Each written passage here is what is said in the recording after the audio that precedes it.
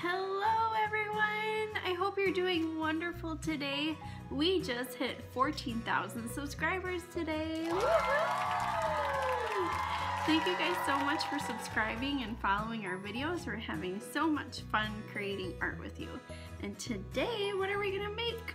Watercolor oh, jellyfish. Yes, they're so awesome. Can't wait to do this with you guys. For today's project, we need a cup of water, but not for drinking out of. We need a white crayon. We need watercolor painting paper or cardstock will do. And we need paintbrushes. We need some salt. We need a rag. And most importantly, we need some Now you probably can't tell from my paint palette that that's watercolor paint, but mine's watercolor concentrate. You can also use a tray of watercolor paint. This is the paint that we're using. It's called Color Splash Liquid Watercolor and we really like this. This is a concentrate though, so you need to make sure that you use a wet paintbrush and wet paper when you use it. And you can even water it down a little bit. And if you're using watercolors like these, make sure you get your paintbrush wet and get the paint nice and wet before you use it. Mix it up, rinse out your paintbrush, and get it wet again before you paint your paper. Now we are going to take our white crayon and we're going to draw the shape of a jellyfish. You can do this a few different ways. If you have graphite paper, you can go online and print off a picture of a jellyfish and then you'd put the print off on top, graphite paper on the bottom, and then your painting sheet on the very bottom and you can trace the jellyfish shape. Otherwise, you can um, use Google as your reference and look at what a jellyfish should look like. So generally, jellyfish have a round top. So we're gonna draw sort of like a half circle. And then they have some squiggly lines that go from the top down. And it might be really hard to see what we're drawing here, but you can kind of see where our hands are going to make the shape. And then very squiggly shape for that bottom of the half circle. And it's even like multiple lines to do that. And then their tentacles are super squiggly so you can do lots of squiggly lines for their tentacles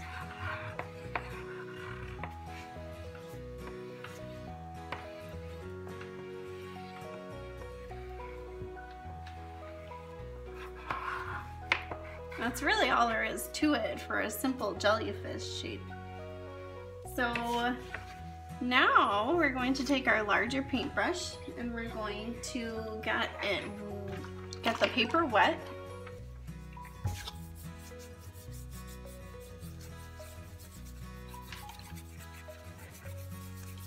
Get the whole paper nice and wet.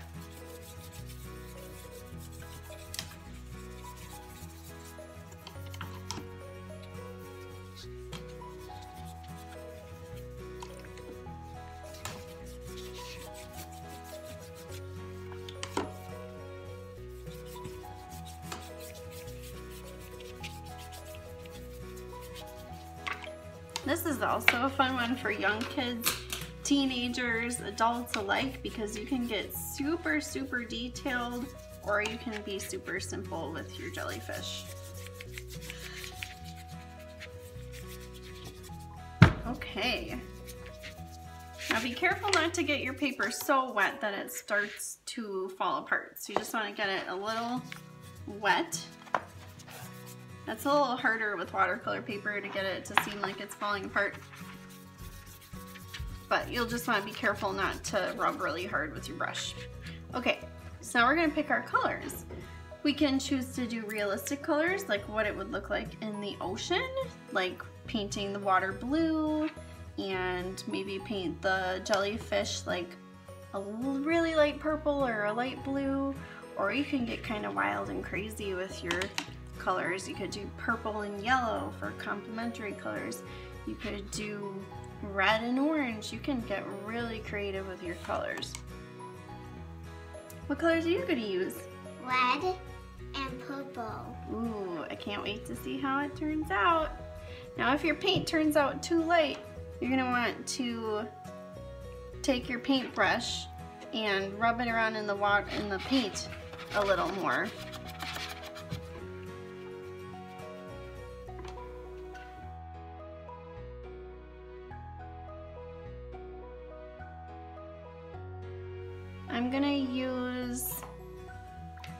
Some purple and some blue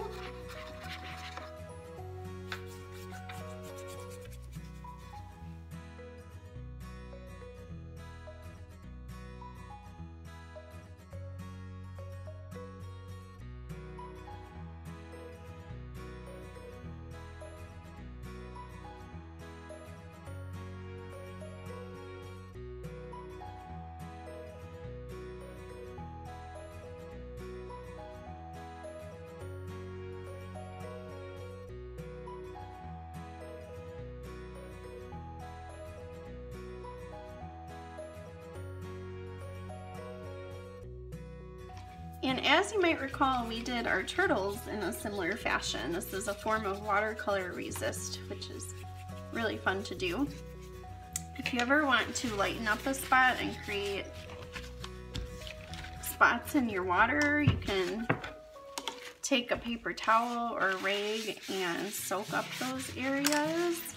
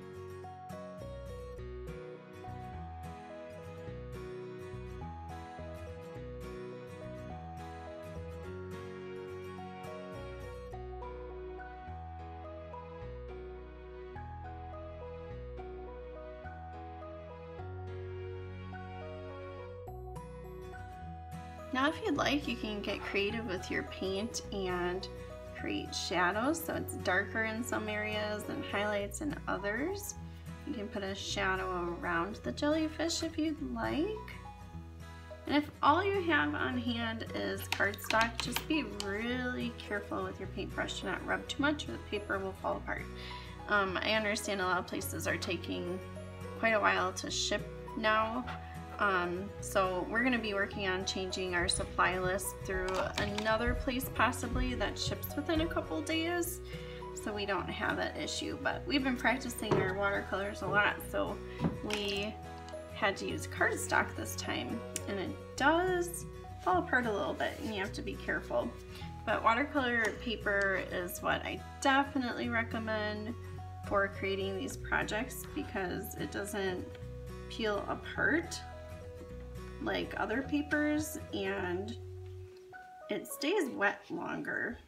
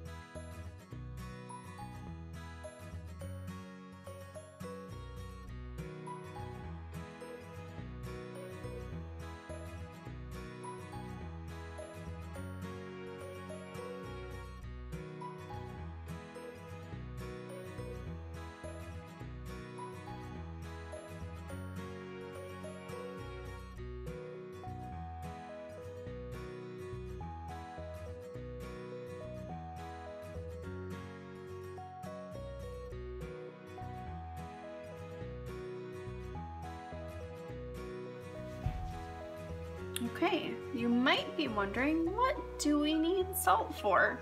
Well, let me show you a pretty cool trick. If your paper is dry already, take your paintbrush and get it wet.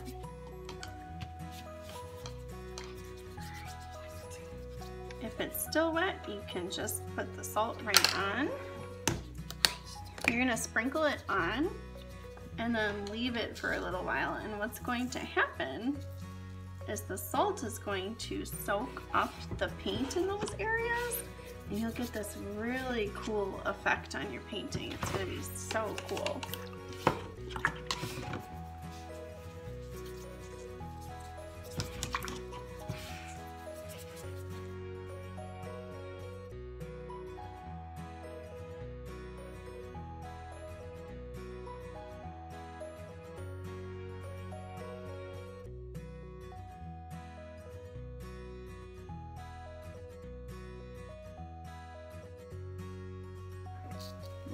Soak in and then in a while we'll brush it off of our painting.